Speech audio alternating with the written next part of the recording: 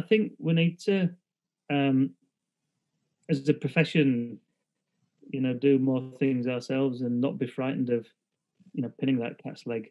Um, yeah, yeah, I think you're, you're absolutely right. It's knowing your limitations, isn't it? It's knowing that that actually you can you can do a procedure or you can't do a procedure. It's Yeah. simple as that. You, you sound, uh, Julian, you, you sound saying you saying that you know know your procedures and knowing that you can do them, but that you can't. do. That sounds like a, a, a recipe for sixty second CPD to me.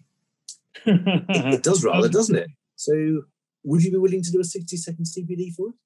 I would be very willing to do a 60 second CPD as long as I can think of something to say in the next 15 seconds that will last for 60 seconds that will be of of, of merit to anybody. I. I haven't started the clock yet, mate.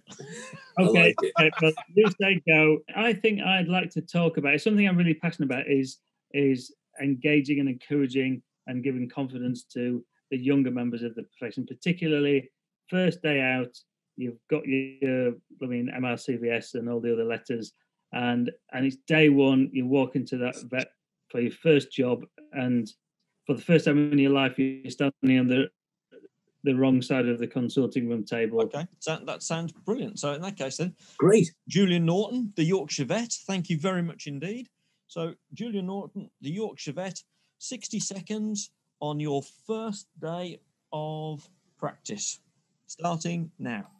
Okay, so hello everybody, and particularly uh, new vets who are about to start work um, today. Uh, this might be some of you already. I've used 10 seconds. I've not given you any useful information. So, first thing, look for clues. Um, vets need to look for clues. We get we can't work anything out if we haven't got clues. So, be a detective. Ask the right questions and look for the answer to those questions. It's no point saying, you know, is your dog being sick? Yes. You need to know why it's being, how many times it's being sick. 10 times in the last um, half a day or 10 times in the last year. So be a detective. That's trick number one. Uh, trick number two, be confident. Um, this x ray on my phone came from a colleague of mine from a few year, uh, uh, well, a few months ago actually. She's fixed a cat's femur. Look at that. Um, she's not an orthopedic surgeon, but she can do anything.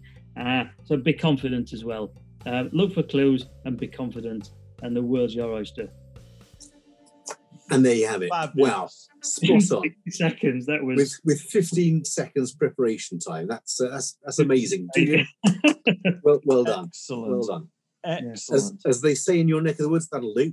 That'll do. You don't- I don't think you need a retake on that, to be honest. No, all right. It was a bit vague. I, I can, if anybody wants more detail, a more detailed um, uh, summary, maybe over five minutes, I, I'm happy to uh, uh, to to speak to people via Instagram or um, email or, or whatever. So uh, please contact me if you want a more a more informative CPD over over a minute.